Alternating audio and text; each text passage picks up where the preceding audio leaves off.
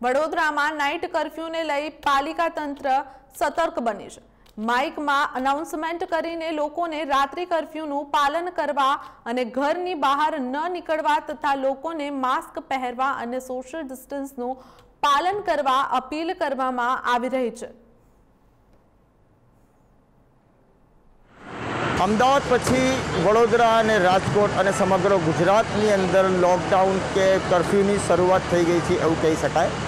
અમદાવાદની વાત કરીએ તો અમદાવાદની અંદર સૌથી પહેલાં ક્વિક લોકડાઉન કરવામાં આવ્યું. લોકડાઉન તો ના કહેવાય, પણ એક એક ટાઈપનું કરફ્યુ પબ્લિક માટે લગાવવામાં આવ્યું.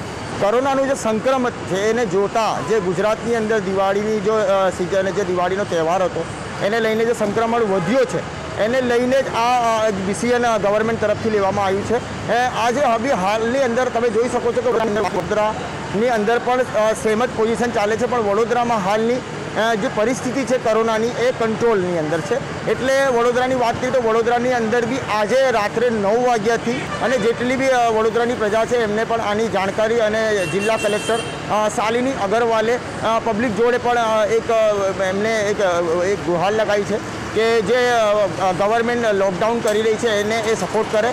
અને વાત કરીએ કે દિવાળીની તો દિવાળીની અંદર લોકડાઉન દિવાળી તરત પછી જ લોકડાઉન થવાની વાત કહીએ તો લોકો આજની તારીખમાં લોકો બહાર ફરવા ગયા છે ને લોકો બહાર આપણા ઘેર લોટી રહ્યા છે એટલે ગવર્મેન્ટે પણ બસ સેવા હોય કે દૂધ સેવા હોય કે શાકભાજી સેવા હોય કે જે પણ છે, એ જે ઇમરજન્સી સેવા હશે એ ચાલુ રહેશે અને લોકો જે પાછા આવી રહ્યા છે એનું કમ્પ્લીટ રીઝન હશે કે એકદમ ઠોસ રીઝન હશે, તો લોકોને એમના ઘર સુધી પણ પહોંચવાનું ગવર્મેન્ટ બંધાઈ બંધેલા રહેશે. કેમેરામેન વસીમ પેન્ટર જોડે અલ્તાફ ખાન ઇન્ડિયા ન્યૂઝ વડોદરા.